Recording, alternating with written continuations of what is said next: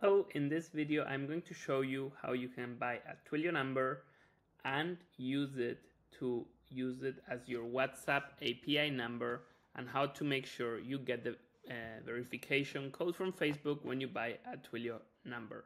Alright, this is going to be very easy. You need just to follow the steps.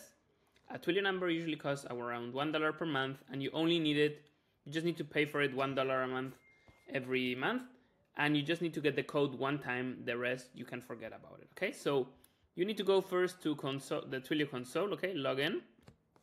I'm going to log in here with my account. All right and now once we're here we're going to go to explore products okay? This is probably where you can see uh, phone numbers.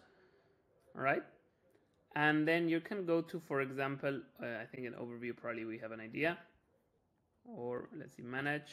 Let's see where it is.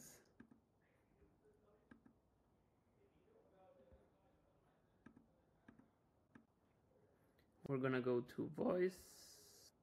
Oh sorry two we're gonna go to phone numbers okay? And then we're gonna go to buy a number. I'm just gonna buy a number here for this demo all right?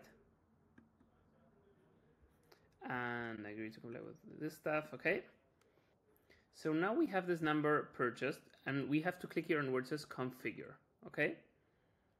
Now I'm going to share here a, a, uh, uh, a, link. This is what you're gonna put to redirect.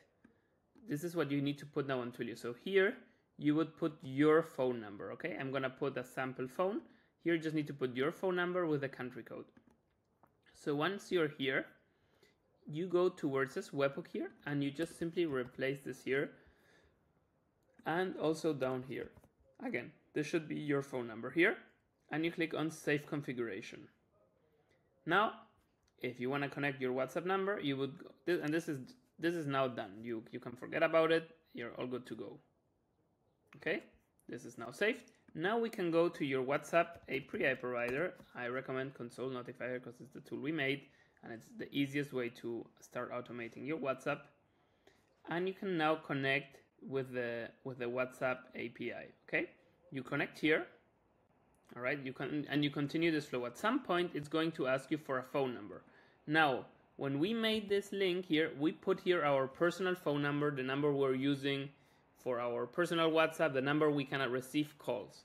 And when you get to the step on Facebook where it's asking you to put the phone number, you just put your Twilio number, okay, this number that you've purchased.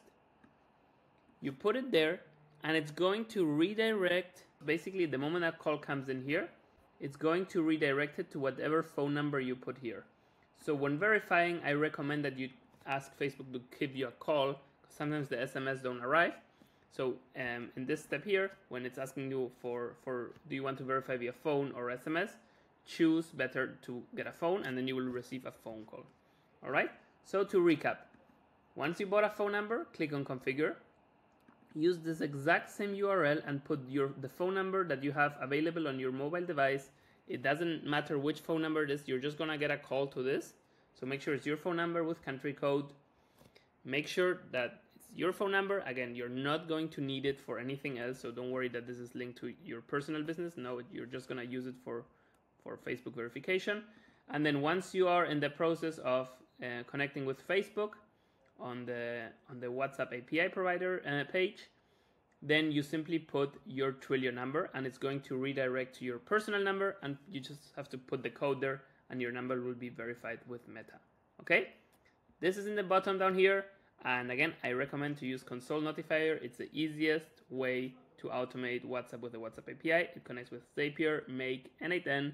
You can bulk message broadcast, uh, connect with Pipedrive and many other integrations and it has a lot of powerful features as well besides also having a chat that looks like the WhatsApp web and also you get to have your own mobile app that looks like WhatsApp and allows you to answer messages on the go even when you lose your WhatsApp account because you're using it for automations. All right, if you have any questions, feel free to contact me and if you want me to do this for you, you can book a call in the YouTube channel description. Thank you, have a great day.